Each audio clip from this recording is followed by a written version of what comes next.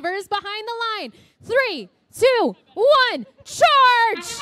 It's the beginning of our autonomous period in eliminations match number two. We've got two blue robots moving, two red robots operating and moving. Make that three.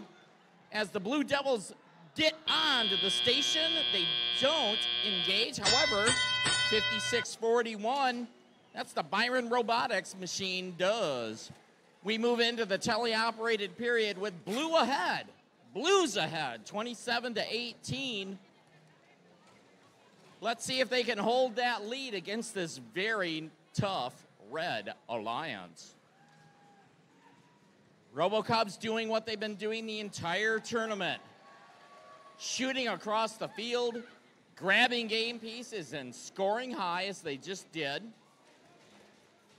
They are equally matched by our AdamBots here. AdamBots has some has a game piece. They take a hit from one of the blue alliances. However, they drop it off and gonna go for some more. Blue is holding on to that lead as we have about 75 seconds left in this one. Blue Devils, the 4130 machine, has a game piece.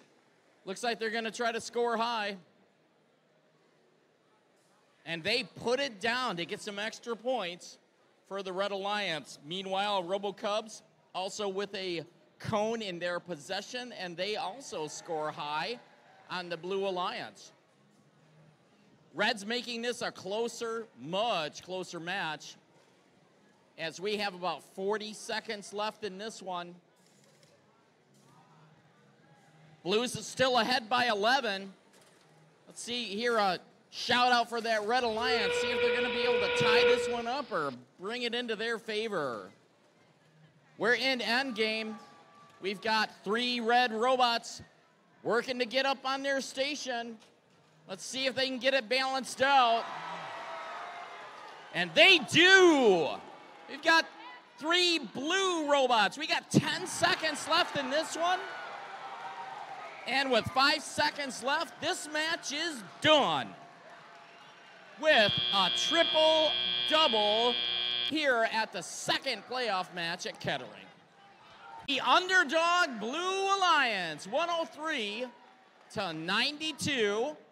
The Blue Alliance will be staying in the upper bracket as our Red Alliance moves down into the lower bracket to live to play again.